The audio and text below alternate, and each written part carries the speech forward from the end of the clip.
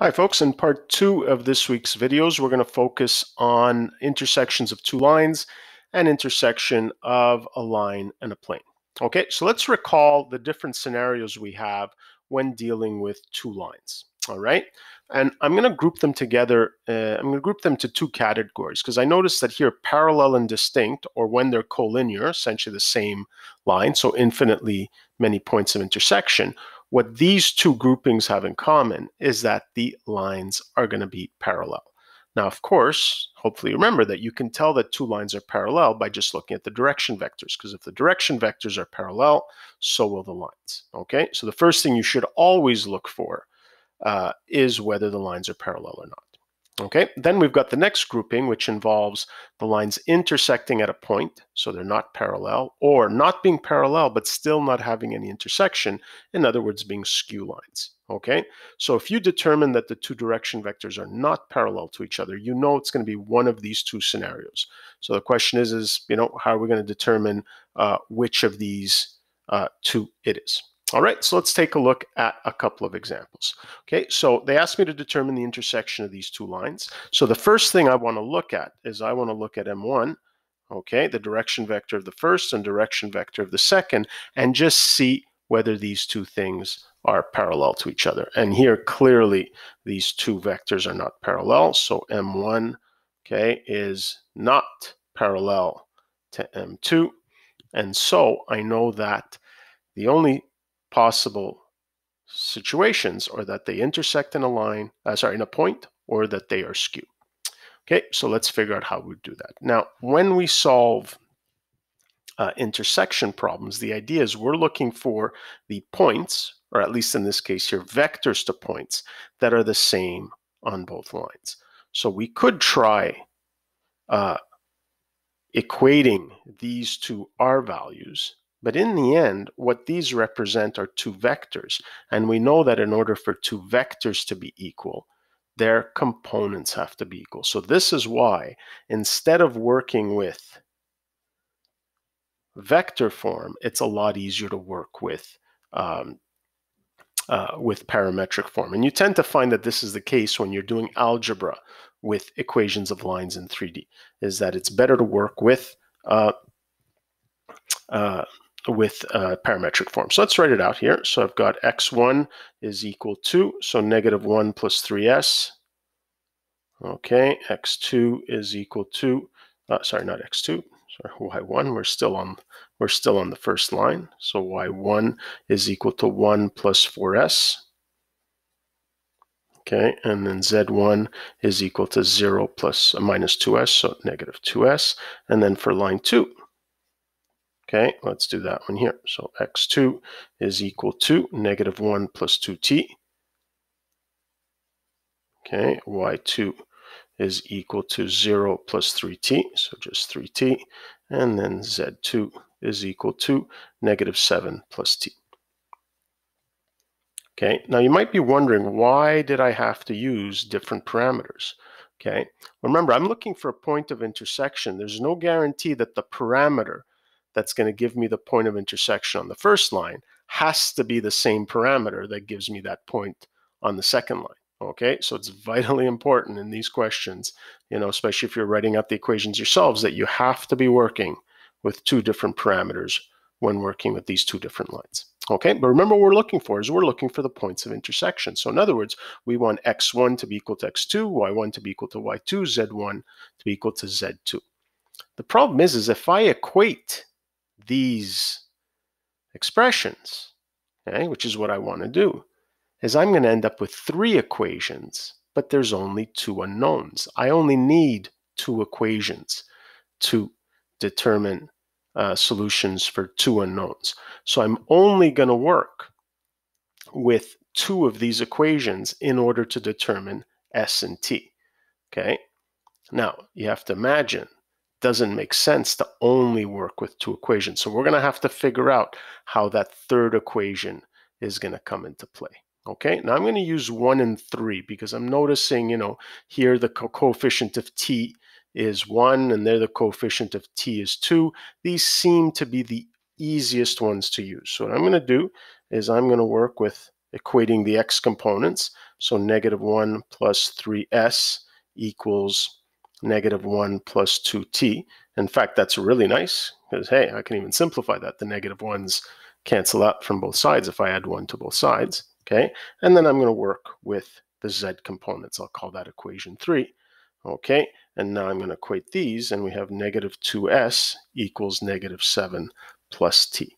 And so now I can solve this like a regular uh, system of equations. So I won't change equation 1, but I'll eliminate, and you're going to see me almost always using elimination, just to give you a heads up here. So I'll keep equation 1 as it is. So 3s equals 2t, because we simplified it up there. And then I'll multiply equation 3 by 2.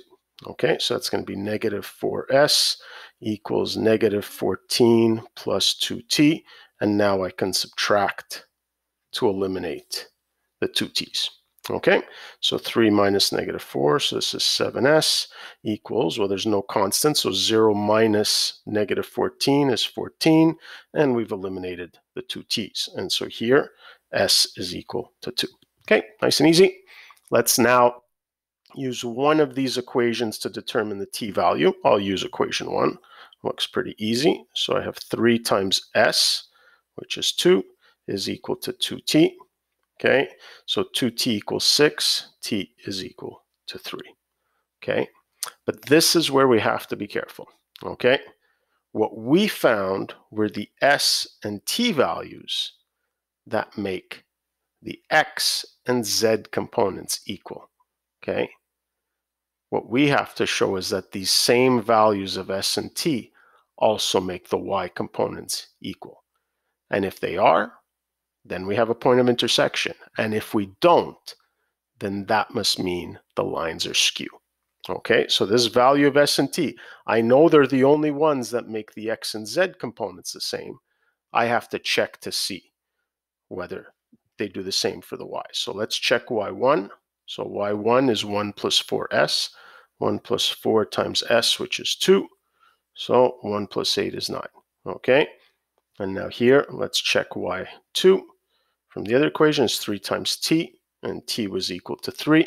So 3 times 3 is 9. So we see that they're indeed equal. So what this tells us is we know the lines are not parallel to each other. Okay.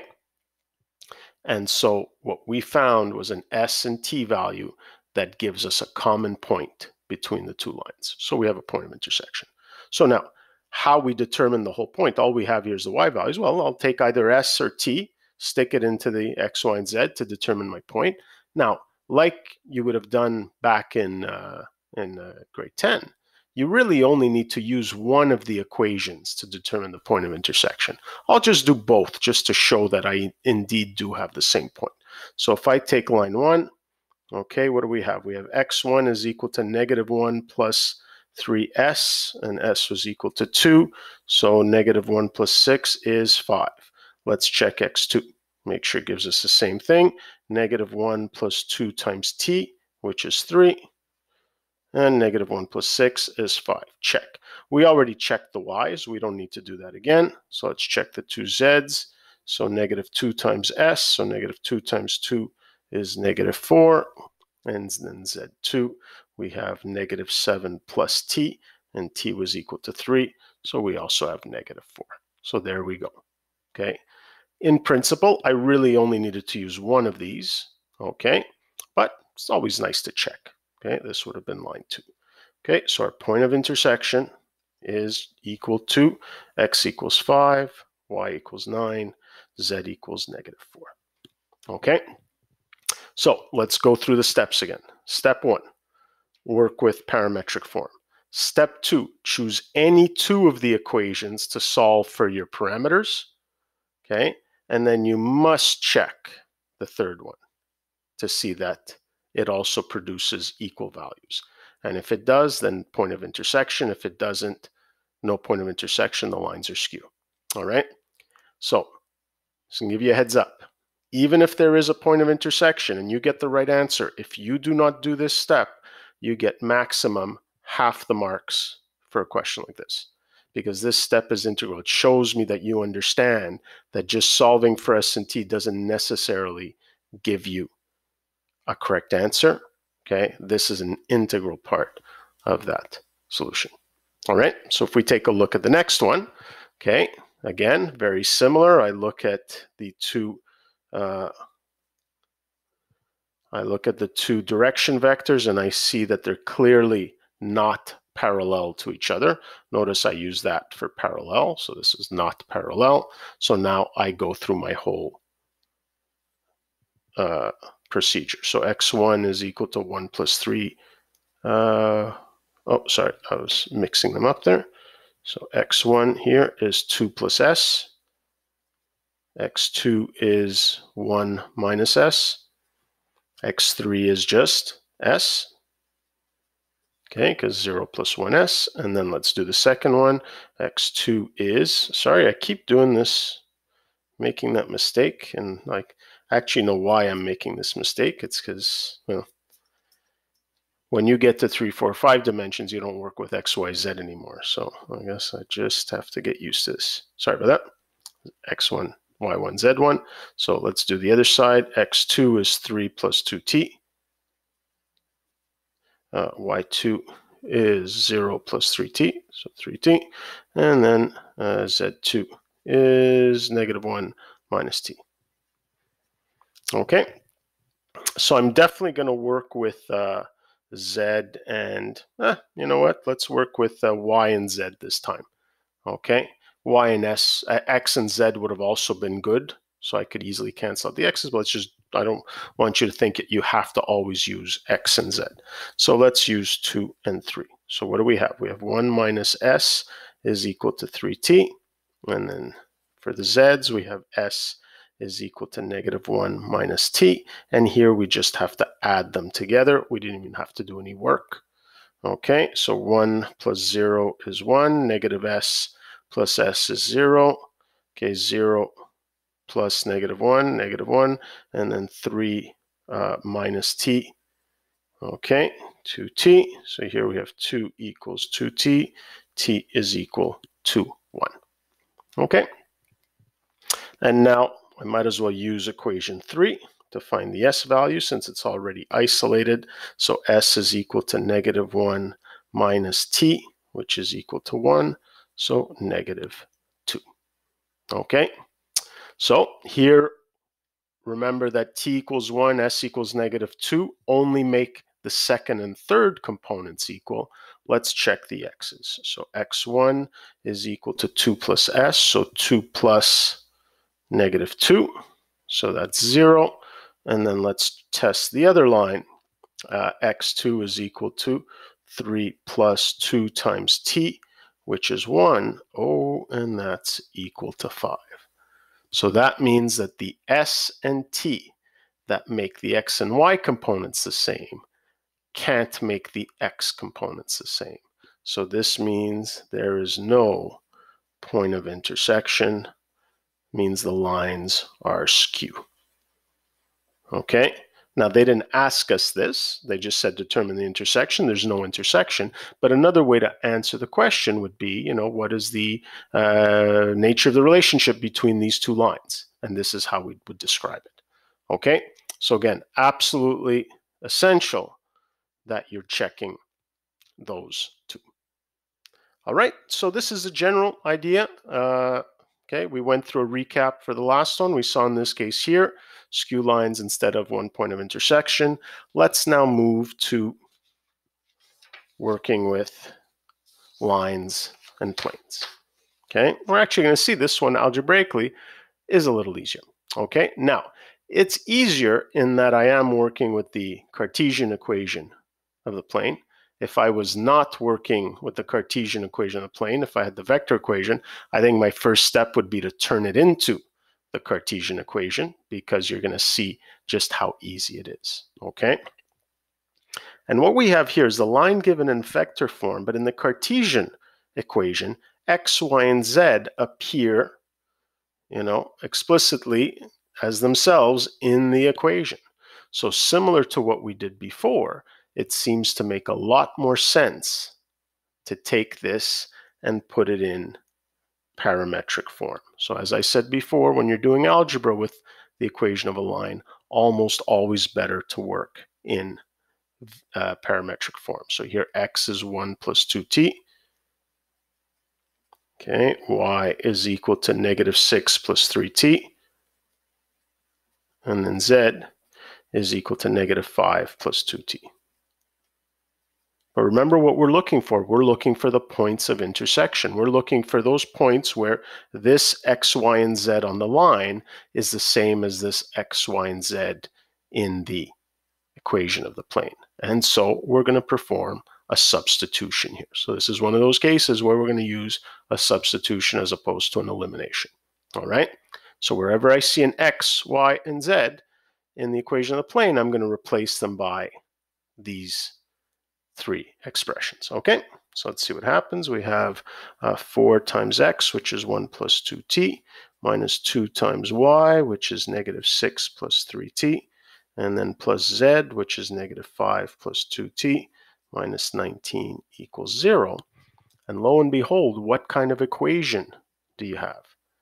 You have a linear equation. Okay? Now, think about what types of answers you can get in a linear equation. Well, obviously, you can get a single answer, but you could also get no answer, or you can get infinitely many answers. Okay, and if you don't remember how those come about, I suspect we might see them in the uh, in the next question there. All right, but for now, let's just try to solve here. So what do we have? We have 4 plus 8t uh, plus 12 minus 6t and then minus 5 plus 2t, and then minus 19 equals 0. So let's keep the t's on this side. 8 minus 6 is 2, plus 2 is 4. Okay, and here we have 16 minus 5. 16 minus 5 uh, is 11. 11 minus 19.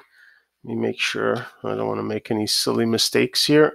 So let me make sure here. What do we have? We have 4 plus 12 minus 5 minus 19 is negative 8. Okay, but I'm bringing that to the other side. So that's 8. So t is equal to 2. And so what we did is we found that when t is equal to 2, the xyz on this line will be the same as the xyz on this plane. So I can just stick this into my equations. x equals 1 plus 2 times 2 equals, what do we have here? 4 plus 1 is 5. y is equal to negative 6 plus 3 times 2. So negative 6 plus 6 is 0. And z is equal to negative 5 plus 2 times t, which is 2. So negative 5 plus 4 is negative 1. So we have a point of intersection of 5, 0, negative 1.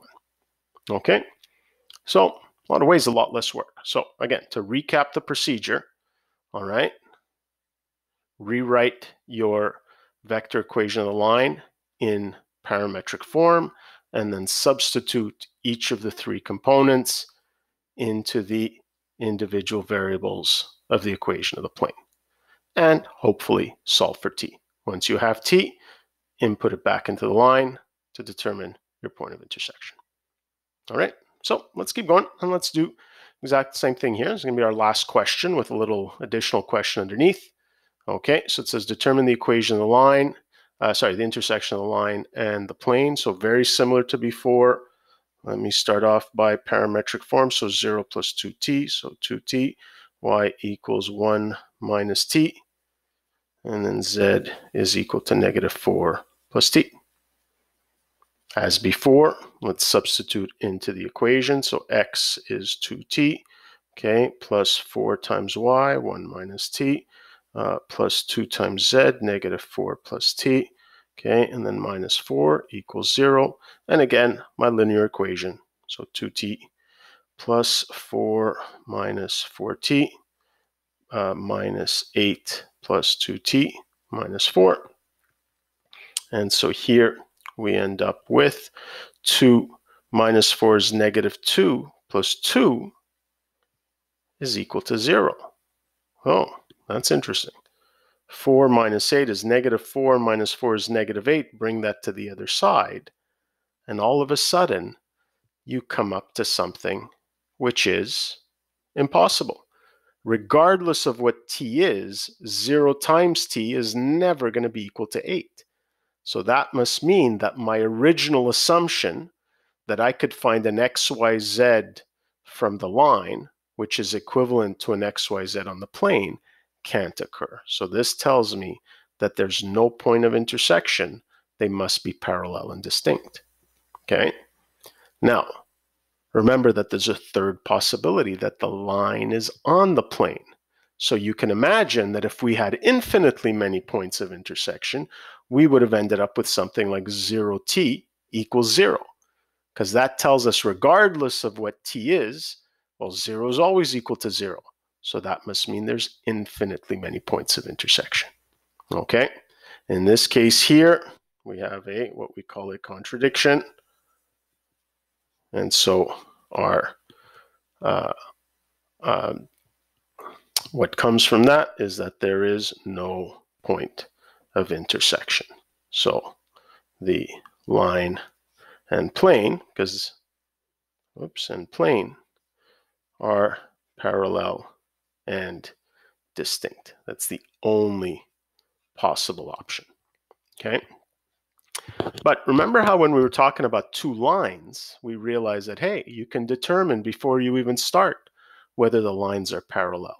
The question is, is there a way to determine whether a line and plane are parallel before you even start? Well, let's take, you know, there's my plane and there's my line if they're parallel. Now, we're working with the Cartesian equation of the plane. So it would be really nice if we can somehow use the normal vector to the plane to help us out. And this is where we realize that if the line and the plane are parallel, then this normal vector isn't just going to be perpendicular to the plane, it must also be perpendicular to the line. And this is how you can check to see whether a line and a plane are parallel. Okay, how do you do it? Check if, oops, check if the direction vector of the line is perpendicular to the normal vector of the plane. And of course, how do we check if two vectors are perpendicular to each other? We check their dot product. So for the fun of it, let's do this here. Let's take our direction vector 2, negative 1, 1, all right? And then let's dot it with the normal vector of the plane, 1, 4, 2. And let's see if they're perpendicular to each other. Let's see if the dot product is 0. So what do we have? 2, and here we have minus 4, and then here we have plus 2, and here 0. Okay, so that tells us now that the line and the plane are parallel. Now the question is, are they parallel and distinct? Or are they, is the line on the plane? Well, really easy to check. If the line is on the plane, means any point on the line, including 0, 1, negative 4, must also be on the plane. So let's test it out. Let's test, you know, 0, 1, negative 4. Okay, and let's see what happens here. So x is equal to 0. Okay, plus 4 times y is 1, plus 2 times z is negative 4, minus 4, and let's see if that's equal to 0. So what do we have? 4 minus 8 minus 4 minus 8 is negative 4 minus 4, negative 8, not equal to 0. So I could have avoided all this work if I had checked to see if they were first parallel to each other and then tested out. So there's an argument to be made that this is actually not that much work. So it might not be worth doing all this to only find out that they're not parallel, and in which case you'd have to do the work anyways. All right. So uh, the last video is going to deal with two planes. All right. We'll see you in a bit.